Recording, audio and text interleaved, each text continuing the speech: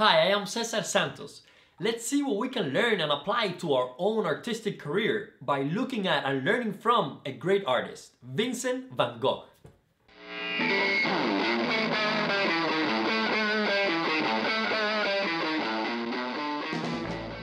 I'm here in Amsterdam. I just came out of the Van Gogh Museum. I want to tell you why I love Van Gogh so much and why I think he's one of the greatest masters of all time. First, I want to say that Van Gogh, before becoming a painter, he wasn't so detached from art. He was actually working as a dealer with the galleries and he was involved with works of art from artists of his time, from artists of the past. So this is not a new thing that he just suddenly decided to do. Actually, his mom encouraged him to draw since he was a kid. And by 16, he started working with these uh, dealers, selling art until he was 20.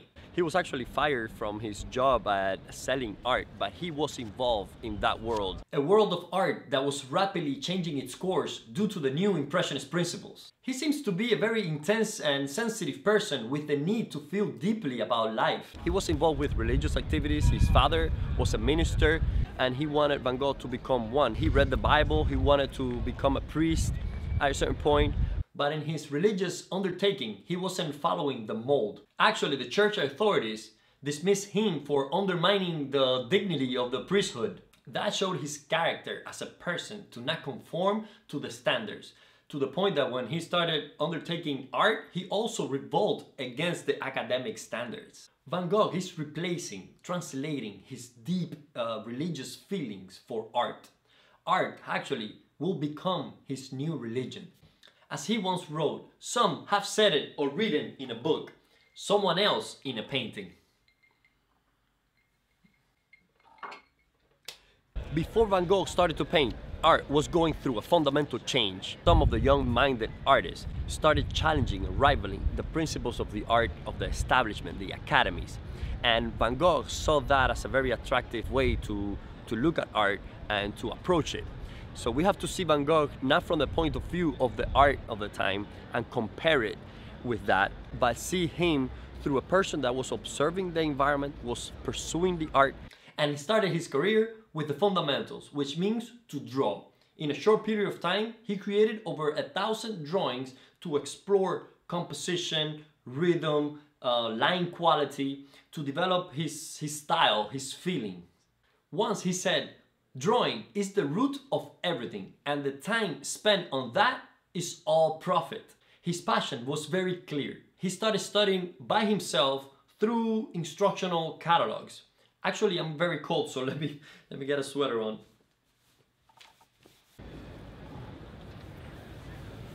Okay, uh, better. During this time, artists were putting more of themselves in the painting. They were not following the academic style as it was meant to be, but more of expressing themselves through paint, more direct, reflecting their personal temperament, the personal ideas, their emotions through the act of painting, not the other way around. Before, painting was more about the craftsmanship, the storytelling, and sometimes we can see these tendencies of the personal vision from the artist.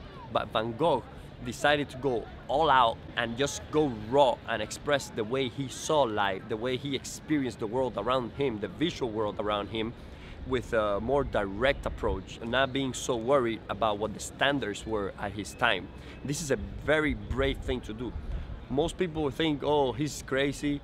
Uh, I think we have made him crazy.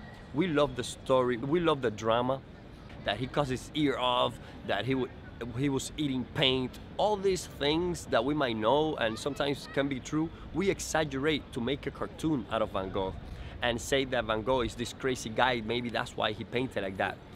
Definitely he was not a normal person and I'm, we are all glad of that and you cannot be normal if you see the world like that and if you pursue um, art with such a passion.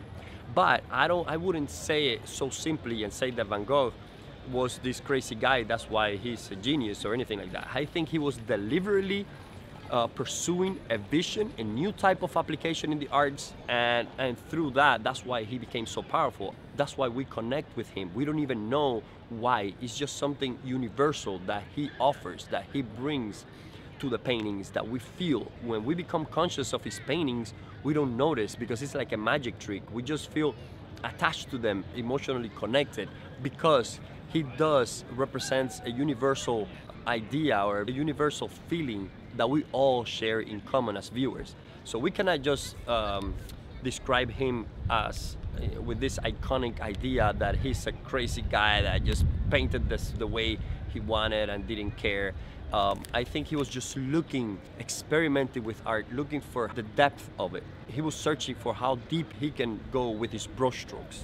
so if he was so good, why he didn't succeed and sell a lot of paintings during his lifetime?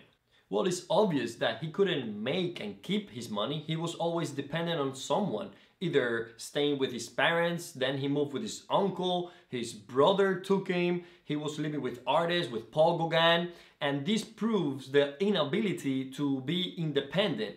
And, uh, and also proves the fact that he couldn't reach out with his art to buyers and collectors of the time. On top of that, he was creating art that was very difficult and, and, and rare for his time period. So that was double the difficulties. One great lesson we can learn from looking at Van Gogh is that even without money and even with the love that he had for the countryside, he moved to Paris because he understood that was the center of the art world during his time and he wanted to be part of that scene, of that movement and see how he could grow within it. Van Gogh was not trying to fit in, trying to paint the way people painted at that time. We can see that he was looking at the world with his own eyes. As an artist, what he did is really difficult because during that time, art was very strict and was uh, very controlled by the academy, but he didn't want to fit in within those boundaries. He didn't want to fit into that um, idea of art. He, wa he wanted to explore something new. He wanted to, to see how far he can take art. So we are lucky to have such a free soul experimenting at such an important and critical time in the history of art. His art was about his relationship with his materials to the end of reinventing what he represented. His paint application recreated and conceptualized what he saw as if what he painted didn't belong to this world, but instead reminded us of this world in the most profound way. He painted the Starry Night with such a idealization that when standing in front of a painting, we realize how vulnerable we are against the immensity of the sky. Van Gogh, like many of the masters, tried to make us feel that relationship we have with the sky. Van Gogh's art was not about correct proportions, it was not about the light and shade relationship, the value control. He didn't care about representing the color of things as they exist. Van Gogh was painting from the inside. His sunflowers remind us more of the despair that comes from being cut off from one's root, from one's base, from our lives, than a mere pot of sunflowers.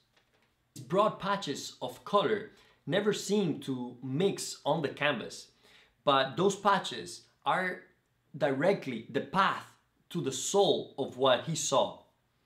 Through his self-portraits, he sees himself as he sees others, an impression created by a play of brushstrokes that follow the form through an emotional response rather than an optical one. Van Gogh was representing things in his own way. It was not about the genre that he painted. He went from still life to landscapes to portrait painting. He was searching for a deeper way to represent things. Van Gogh was able to create such an honest way of expression that is useless for other artists to adopt any aspect of his application. His perception of things cannot be imitated, but only enjoyed. His art was so playful, yet serious. His delineation of form a little awkward, yet universal. His brushwork, so direct, yet mysterious. And his compositions, so improvised, yet premeditated. Let's wrap this video up. Van Gogh is not a postcard with a band-aid on his ear. Do you know him by his flowers? Do you know him by his beard?